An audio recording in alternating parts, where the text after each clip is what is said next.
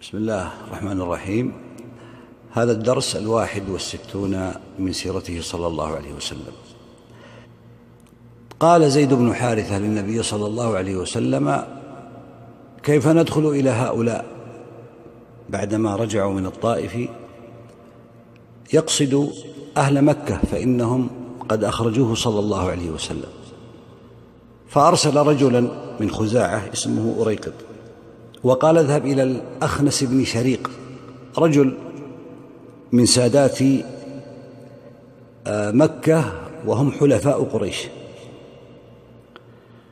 فذهب إليه هذا الرجل إلى الأخنس ثم عاد إلى النبي صلى الله عليه وسلم فقال إنه يقول إن الحليف لا يجير على الأصيل.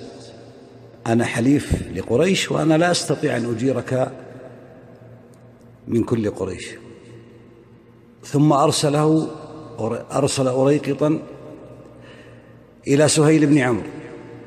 وسهيل بن عمرو تعرفون أنه الذي تولى صلح الحديبية من جهة قريش لما أتم معه النبي صلى الله عليه وسلم ذلك ثم أسلم فيما بعد وحسن إسلامه.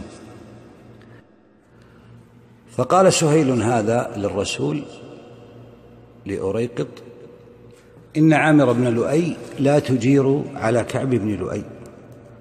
وفي الثالثة بعثه إلى المطعم بن عدي ليجيره فقال نعم قل له فليأتي.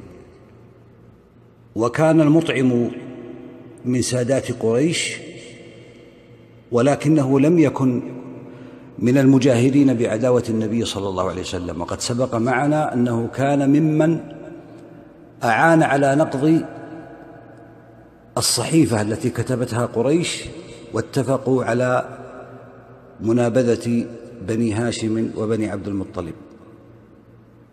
ذهب النبي صلى الله عليه وسلم إلى المطعم ابن عدي فبات عنده تلك الليلة ثم لما أصبح خرج يا أيها الأخ الكريم المسلم. خرج محمد بن عبد الله صلى الله عليه وسلم. خير عباد الله.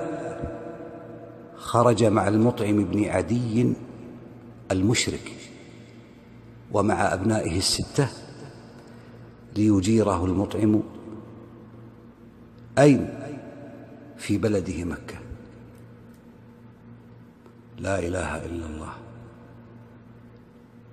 النبي صلى الله عليه وسلم يدخل مكة في جوار مشرك ولا يستطيع دخولها قبل ذلك فيخرج إليه هذا المشرك فيستقبله ثم يخرج به إلى مكة متقلدا سيفه ومعه أبناؤه الستة أو السبعة كلهم متقلدون سيوفهم.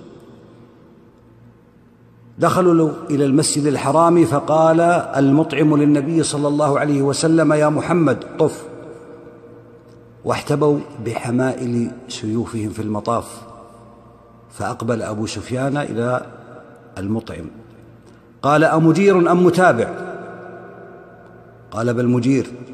قال إذا لا تخفر. فلا إله إلا الله أي دنيا هذه يركن إليها العبد؟ ولا إله إلا الله ما كان أشد بلاء نبينا صلى الله عليه وسلم. لأجل الله ولأجل الإسلام ابتلي بكل هذا يا أخي. فأي امرئ يبتلى فلا يجعل النبي صلى الله عليه وسلم قدوة له. وأي رجل رجل أو مسلم يرى هذه الدنيا تستحق أن يشغل بها عمره وحياته. وكان صلى الله عليه وسلم قد دخل في إلى, إلى مكة دار داره ودار أهله في جوار رجل المشرك أقف على هذا صلى الله وسلم على محمد.